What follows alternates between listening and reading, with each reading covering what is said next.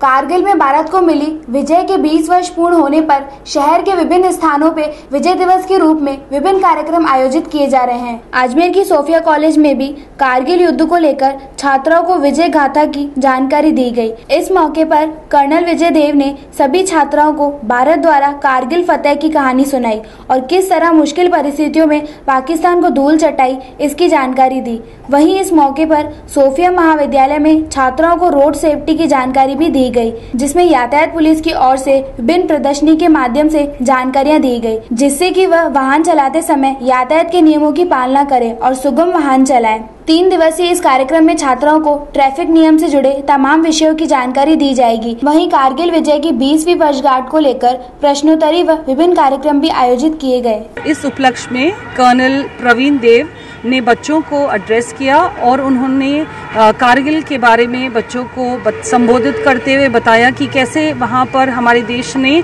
कारगिल पे विजय पाई और एक वीडियो भी बताया जिसमें शहीदों के बारे में कि कैसे उन्होंने बहुत मुश्किल करते हुए, मुश्किलों को सहन करते हुए उन्होंने कारगिल विजय प्राप्त की। तो बच्चों को वहाँ पर बताया गया और दूसरा जो प्रोग्राम कॉलेज में किया गया, वो है रोड सेफ्टी अवेयरनेस ये तीन दिन का प्रोग्राम था जो होंडा के साथ किया गया। यहाँ पर बच्चों को बताया गया कि कैसे उनको सही तरीके से गाड़ी चलानी चाहिए हेलमेट के हेलमेट पहन के ही गाड़ी चलानी चाहिए लाइसेंस बनाना चाहिए। और उन्होंने जो बच्चों को गाड़ी चलानी नहीं आती है, उन्होंने उनको गियर के साथ पहनकर उनको ट्रेनिंग भी दी थी और बच्चों ने इसका आनंद उठाया, सही चीज़ों के बारे में उन्होंने सीखा